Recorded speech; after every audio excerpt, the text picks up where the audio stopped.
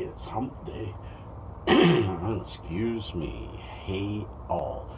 It's Gord, your hurting hippie. It's another pondering. Are you bored with them yet?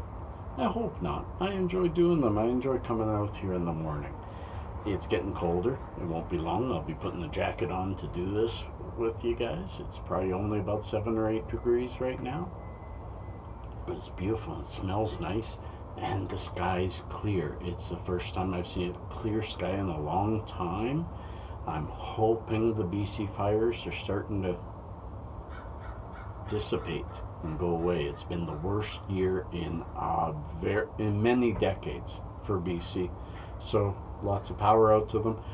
We at MMJ saved an awful lot of money to help the people that were displaced. So that was nice this time, and oh, I forget the name, new follower asked for this, and I'm sorry for not not remembering the name. Mornings, hey, I'm I'm not sleeping well the last three four days. I overdid it with my foot. I I wanted to heal too quickly, and I've I don't think I've damaged it. I've gone for X-rays yesterday. Today I'll go see the doctor and see if I've caused any long term damage by overdoing it. I don't think so. I think I just caused it a lot of pain and I need to wait a little longer for the muscles to catch up to the bones because man, it hurts. And what is this pondering about? Is this person said, How do you go about making videos and not being nervous. How do you get over the nerves of doing videos? And I got to tell you, you may not like the answer. I don't. I don't. I still get the same butterflies before every video that I've ever gotten going in front of people.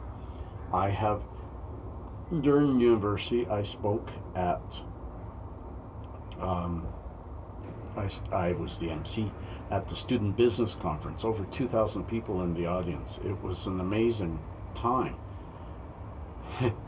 Nervous as heck, but once, and I'm an introvert. I'm somebody who keeps to myself, who likes it to myself, but I enjoy the limelight too.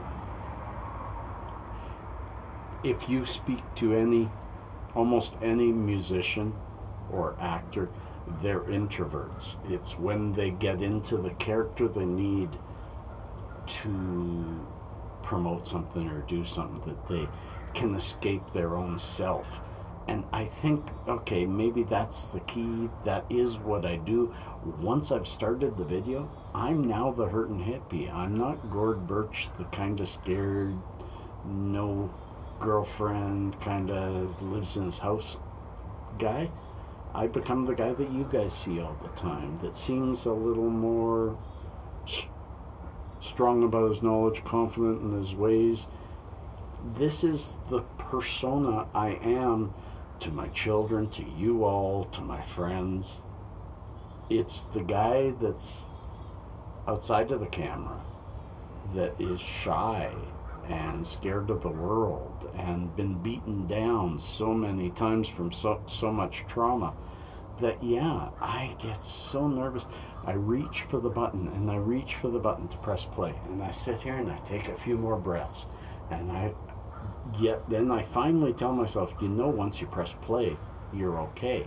So I'll press record, not play, press record, and then I start, and I just let it go.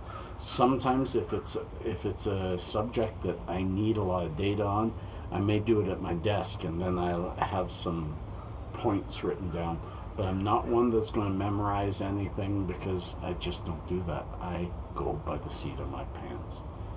So, did I help you?